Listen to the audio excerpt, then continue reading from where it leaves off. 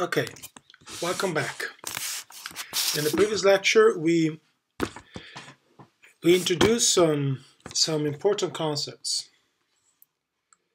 and we use them to uh, address the problem of understanding the structure and the kinetics of transitions uh, from a given zone of uh, uh configuration space or phase space that we identify with the reactant and a given product. Um, we immediately specialize to the case in which this is a rare event and therefore the system remains an exponentially long time confined in the reactant before attempting to reach a state P where it stays again more exponentially long times.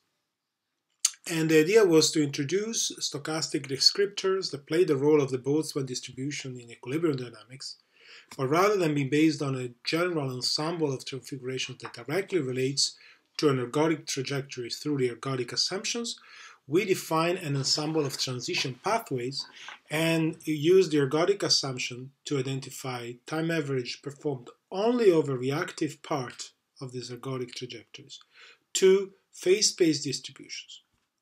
And we, by doing this, we define three stochastic descriptors the forward committor function uh, or the backward committor functions. If we are in a Markovian setting, uh, two committor functions are redundant. You can use the first and then relate the other by 1 minus the first.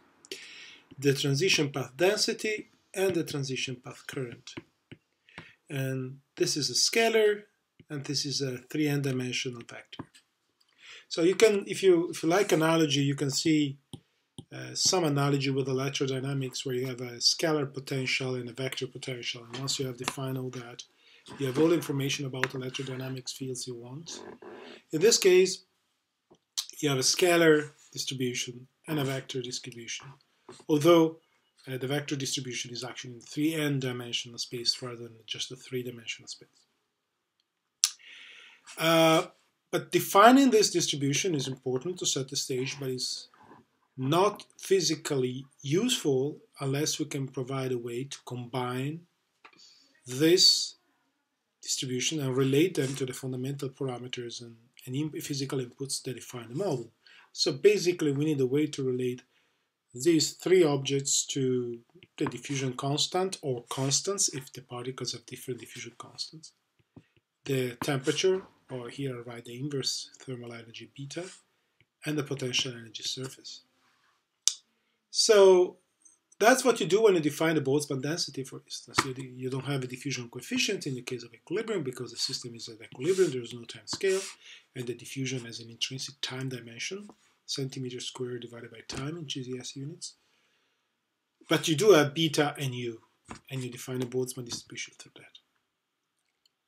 So the goal of today is actually do the same for this three stochastic description. And we will discover something quite amazing uh, that there is some interesting symmetries between equilibrium and non-equilibrium processes when you define these non-equilibrium reactive processes through the ergodic assumptions as in transition path theory. So we begin now this journey by first looking at the equation that is obeyed by the forward committor function. So in other words, we want to show that the forward committor function plays a role that is uh, symmetric in some sense with respect to the Boltzmann distribution. And to be more specific, we're going to prove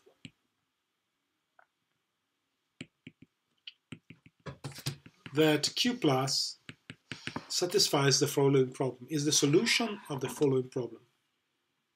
Is a static or zero mode of the backward Fokker-Planck operator, or say stated differently, the adjoint of the Fokker-Planck operator, or even more, you can claim this by saying that is the left eigenstate of the Fokker-Planck operator with zero eigenvalue, so it's a zero mode. But in addition to that, it obeys boundary condition. There are eight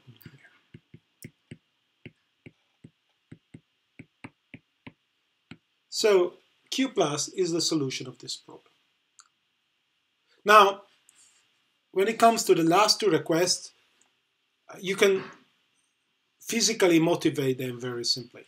You have a reactant, you have a product, and you really want Q plus to become zero when you enter the reactant because the probability of entering the reactant before the product, if you are at the reactant, is obviously 1. Therefore, Q minus is 1, therefore Q plus is 0. Conversely, the probability of entering the product before the reactant when you're becoming closer and closer and closer to the product becomes closer and closer to 1. So there's really nothing to prove concerning the last two sentences.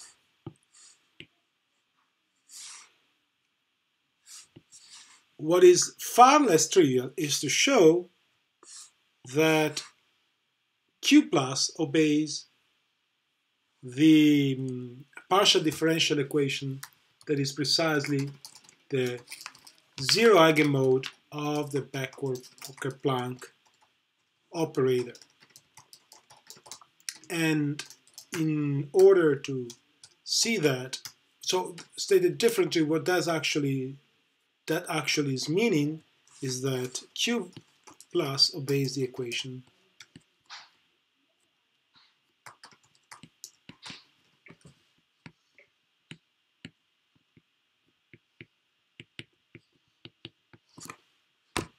this partial differential equation. This is the adjoint operator the Fokker-Planck operator. You can check by explicitly constructing the adjoint of the operator. How do you construct the adjoint of the operator? If you're not familiar with this, you have an operator and you have a test function, maybe two test functions, let's say phi1 and phi2. And the way this is defined in terms of an inner product And what you actually want to do is to integrate by part to take this on the other side and set it equal to this. So if you can find the operator that does this, then you'll find the adjoint. But in order to do that, basically, when you have a differential operator, all you do is really acting by differentiation by part. And in the very structure of the Fokker-Planck operator, then you discover that it very much depends on what kind of a definition of inner product you have. What is the structure of the adjoint? Because if your measure in the inner product contains a Boltzmann factor or not, the Fokker-Planck becomes self-adjoint or, or doesn't become self-adjoint. So I encourage you to try to, to work out this. If you cannot do that, ask me a question and I will provide a proof that this is in fact the adjoint of the Fokker-Planck operator. But give it a try yourself with this hint. It will help you understand that you are or you are not following up with these concepts. Okay, so now let's go back to our main task. Our main task is to show that the committor obeys that equation. And in order to that, we need to make a, a small digression. And we have to say, to make a corollary, if you want. on first passage time distribution.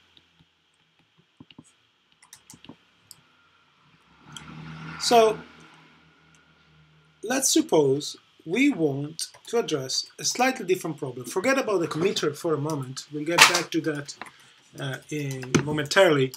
But but at the moment, let's let's stick to a slightly different problem. And the problem is we have a particle obeying some Langevin equation, and we stick to the overdamped Langevin equation as usual. We have a region of configuration space surrounded by surface, hypersurface partial W, and W is the region of configuration space. And suppose we want to address the following question. What is, what is the distribution of times it takes a particle that starts at x for first crossing W? So we want to find the time, the probability that a particle initiating its dynamic at x crosses the surface of W for the first time at some time t. So we want to find the called first time passage distribution f of t. First passage time distribution.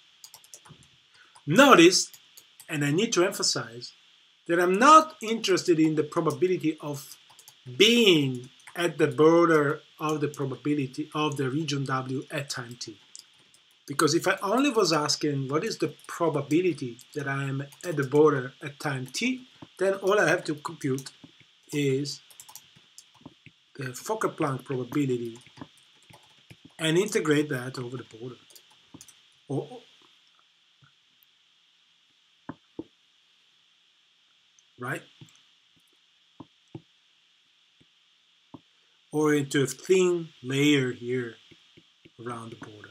But that's not, but this kind of evaluation will account also for process that maybe have entered the region before, I just happen to be there as we stop the clock.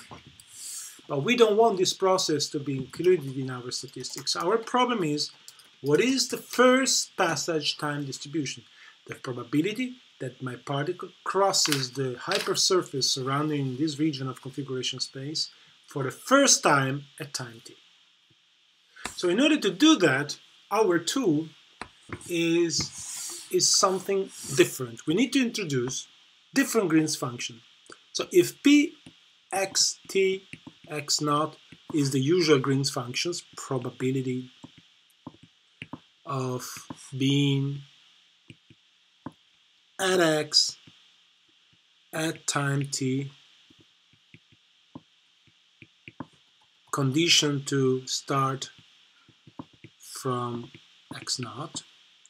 Now we introduce a slightly different object which is assumed to obey the same partial differential equation but with different boundary condition and I call it P star W and that is the probability of being at x at time t condition to start from x naught and have never entered w at all.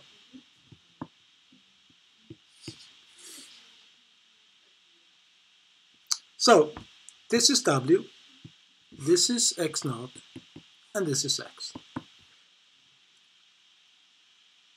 So clearly, if X is at the border of W or inside W, this probability is zero because the condition to have never entered W would be violated and the probability would just be zero.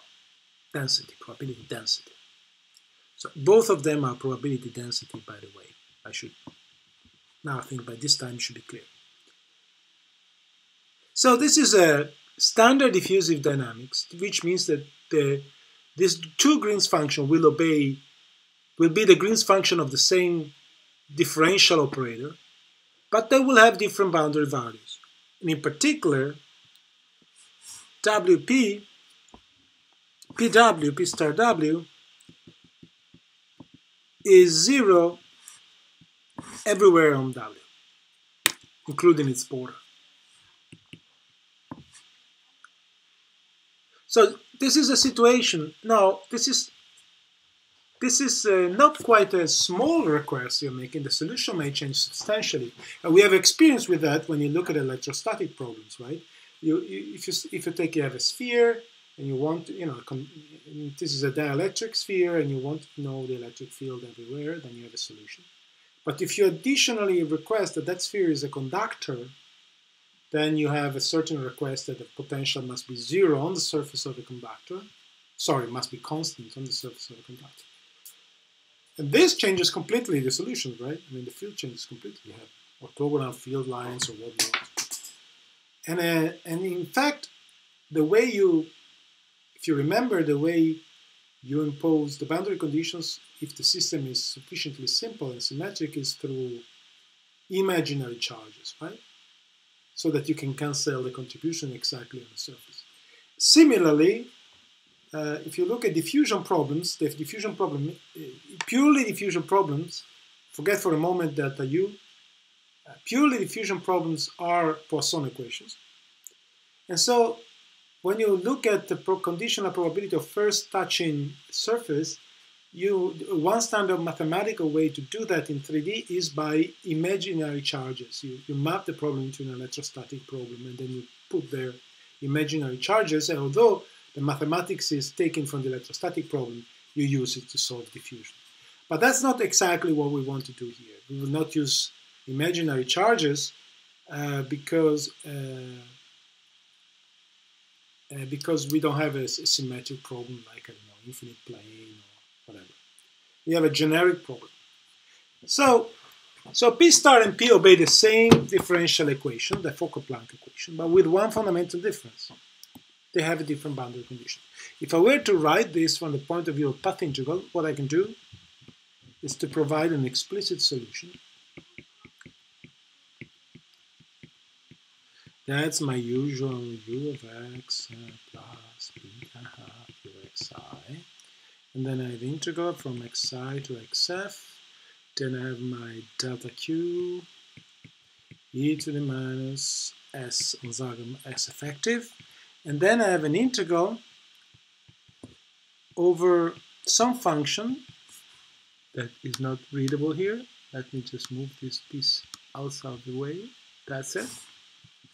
And omega is a function that is 0 outside w as an infinite in W. Now, when I say infinite, I mean very large compared to everything else. So, whenever a path happens to find, to, get an arbitrarily small portion of it touching the surface of W or even entering, this guy will get terribly upset and will kill the statistical weight of that path. That path will not contribute to P star, and therefore P star will be different from having or not having this term here. So you see how the boundary values, the absorbing boundary conditions, this is called an absorbing boundary condition,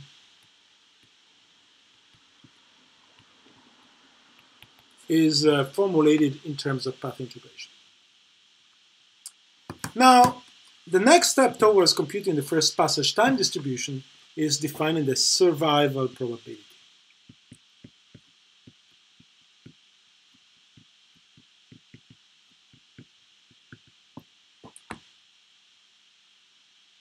The survival probability associated with the border of my surface T and the start starting position xi is defined as follows.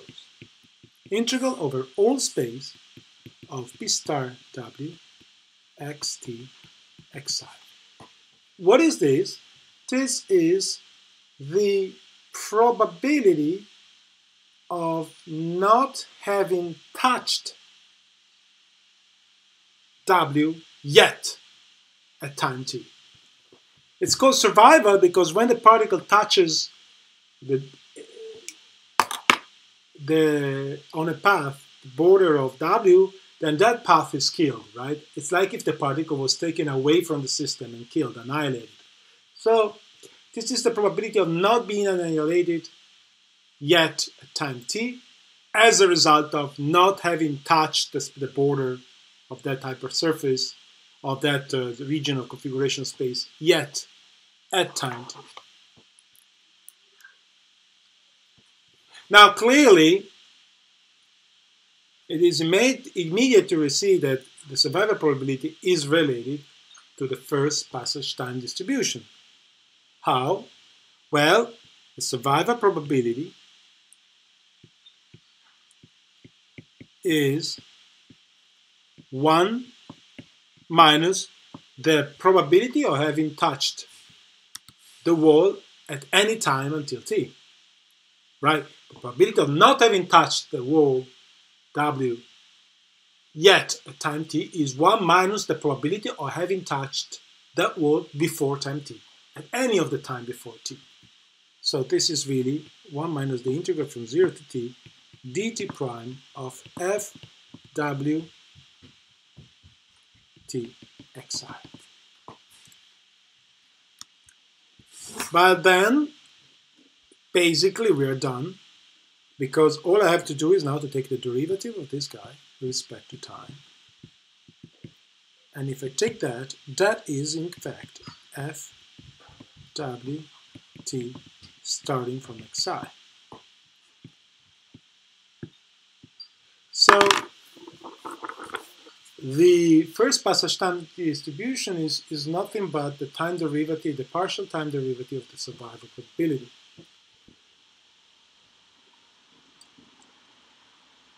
But then, but then I'm, I can use that to get a very nice expression.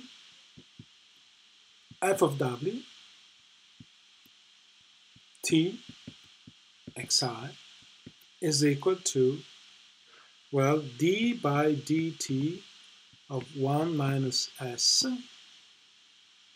That's minus d by dt of s. That's equal. Now, I remember that I can write the survival probability as the integral of the p star distribution. So I can write this as negative of integral in x of d by dt p star w in x t condition in xi. And now the next step is I have the time derivative, but I know that p stars obey the same Fokker-Planck equation as p, so I can use the Fokker-Planck equation here.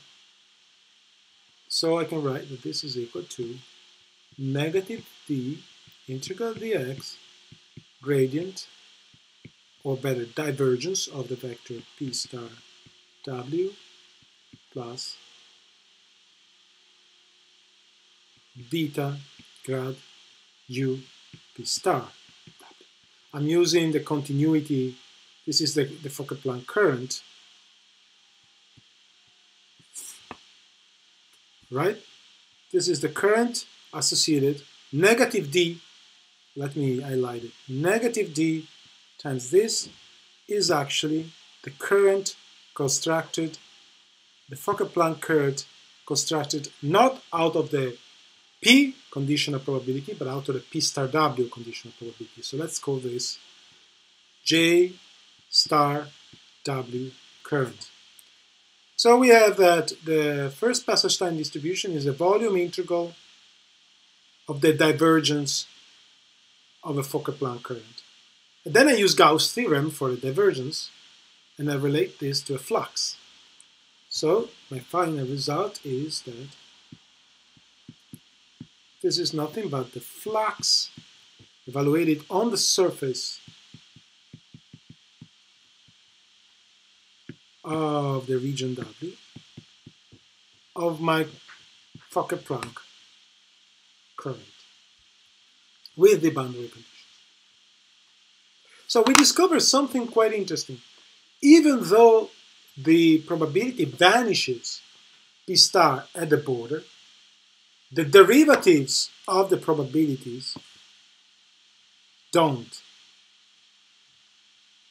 So this will obviously not contribute at the border because P star vanishes at the border. But the gradient of the probability will not vanish at the border, so there will be a final steepness there.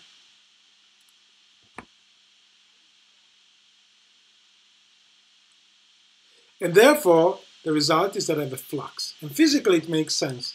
The probability is, is basically the flux of particles that land for the first time the surface W at time t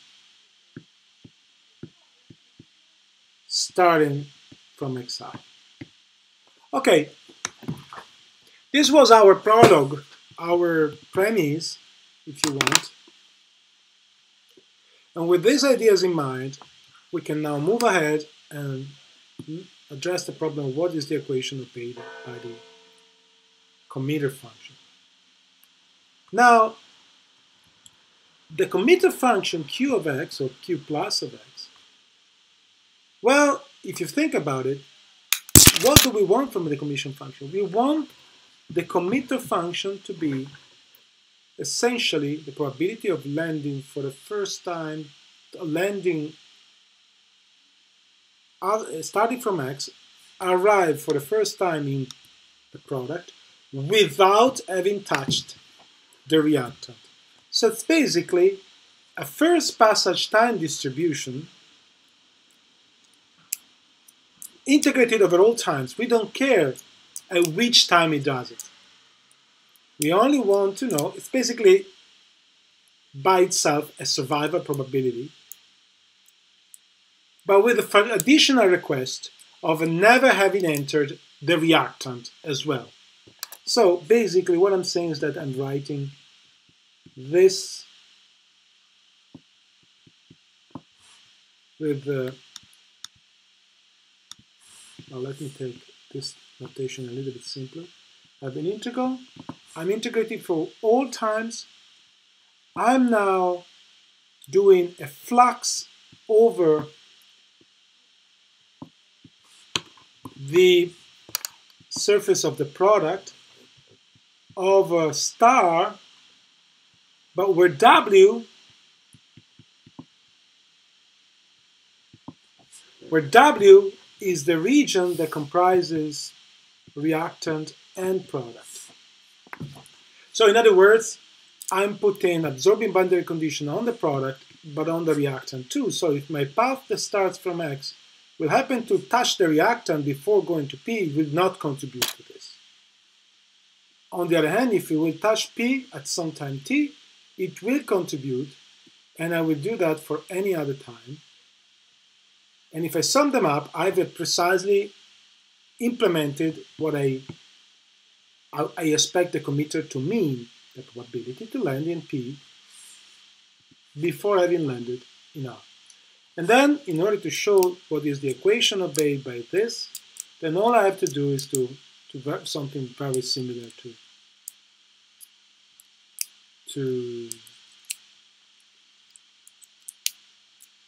to, to the definition that we did before of the first passage time distribution. Let me, let me remind you that given a probability distribution xt, say x prime tx, well, we know that this is this equation is a is a solution of a Kolmogorov equation of a Fokker-Planck equation when it's applied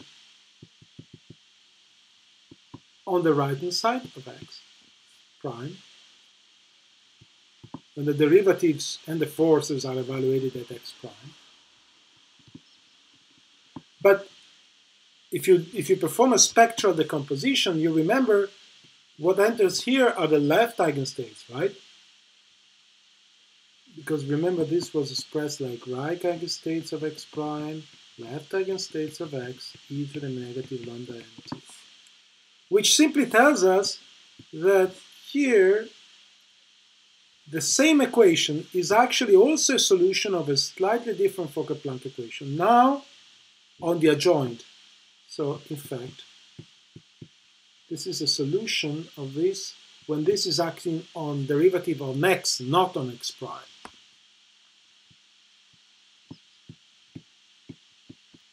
So when you act on this term, right?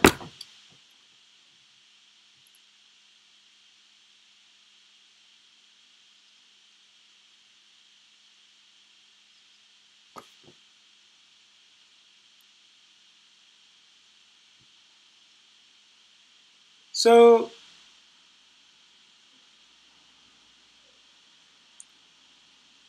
and this time is actually T naught.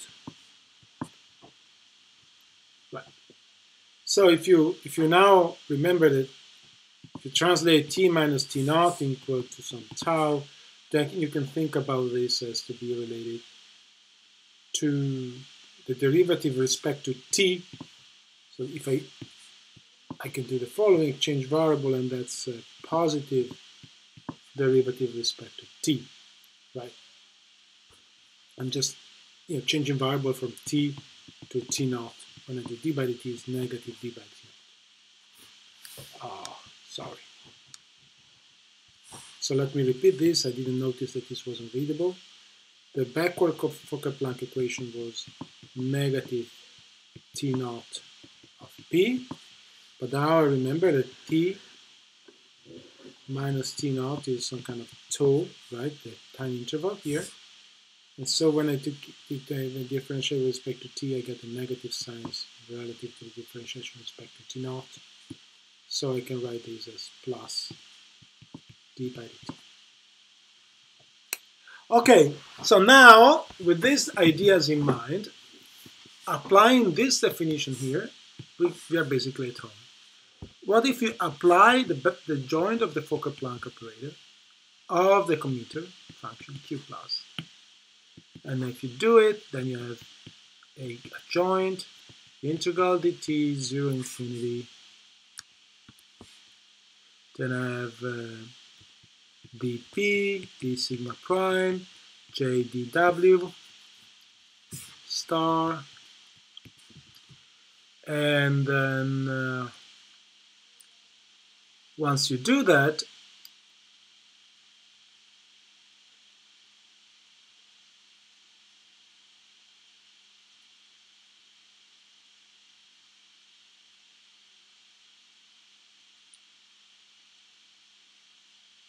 you can easily realize that this is now, this is the backward propagator. It acts on the right hand side here, you see? This is on the x variable. x enters in the condition, so I can propagate this through here, and basically I get now a time derivative there. So let me do this explicitly. 0 infinity, vp now this is untouched by the H adjoint operator because this is the right argument of the conditional probability. And then I have backward or adjoint Fokker-Planck propagator that acts on x, not x prime, but x here on p star dw there's x prime, t, and x, right? Now this will become dt, dt, p star. So I get integral dt partial derivative respect to t, 0 infinity, and then I have dp d star prime, grade prime plus beta grade u x prime p star dw x prime t x which is basically after all the, having done all this what we discover is that they are joint Fokker-Planck operator acting on Q is nothing but the first passage time distribution at infinity minus the first passage distribution at zero because of the corollary that I was referring to. So as you can see, I have now a simple equation that tells me what happens if I apply the adjoint first passage, uh, the adjoint uh, Fokker-Planck operator on my committor function. But now physics comes at handy because it says, what is the, if my system is ergodic, what is the probability that I touch my product only at infinity? It, it means that I, what is the probability that I have never touched it at any time, unless I really wait an infinite amount of time then clearly this is the, if you want, the definition of ergodicity. It is zero if the probability, if the system is ergodic, because the system is ergodic, it means that if I wait a long but finite time, I will get anywhere in configuration space. So this is zero.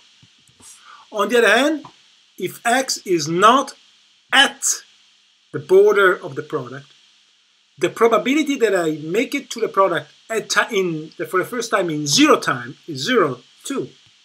So I get 0 minus 0, and that's 0. So we have now shown that the backward Kolmogorov equation, or if you want the adjoint Fokker-Planck equation, the stationary version of it provides uh, the partial differential equation which is obeyed by the So there's an interesting symmetry here. Just as the Boltzmann distribution, which is a probability distribution, not a probability, is the zero mode of the right Fokker-Planck operator. The committor function is the zero mode of the left Fokker-Planck operator, provided you additionally request the boundary condition.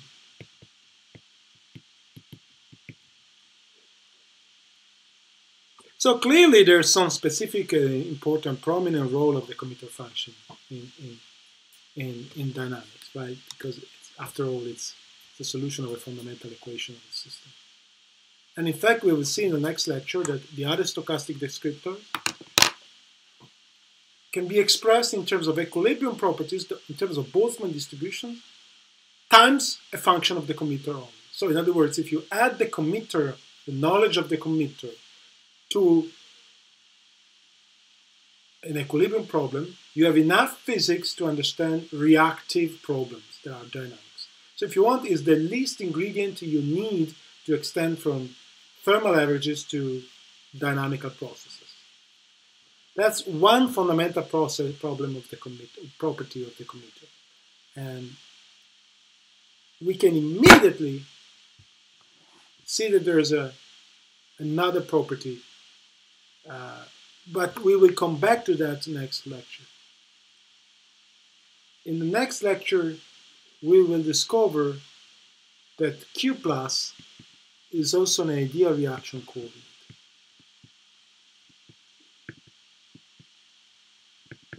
But before I can do that, I have to tell you what is a reaction coordinate before I can tell you it's an ideal reaction coordinate. So in order to do that, we'll have to wait for next lecture. That's it for now. Thank you.